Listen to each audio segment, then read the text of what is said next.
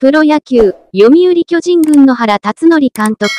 65が今季限りで退任し、来季から安倍晋之助、一軍ヘッド兼バッテリーコーチ、44が監督に昇格することが4日までに決まった。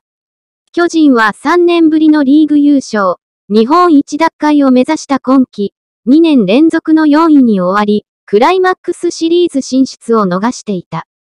原監督は来季が3年契約の3年目だが、任期を残して退任。球団は、安倍新監督に創設90周年の節目となる来季の指揮を託し、人心を一新してチームの立て直しを図るとみられる。原監督は1995年に現役引退後、一軍コーチを経て、2002年に長島茂雄監督、現、終身名誉監督の公認としてヘッドコーチから監督に昇格。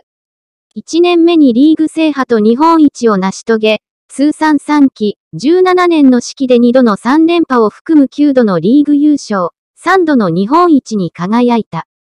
監督として球団歴代1位となるレギュラーシーズン通算1290勝、1025敗91分けを挙げている。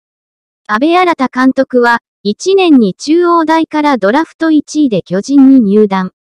長年にわたり、正捕手として守りの要を担いながら強打と技術を兼ね備えた主力打者として活躍。7年からの8年間は首相も務めた。17年に2000本安打、19年に405本塁打を達成。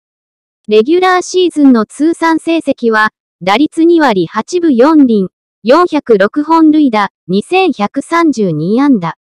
19年に引退後、20年から巨人の2軍監督に就任。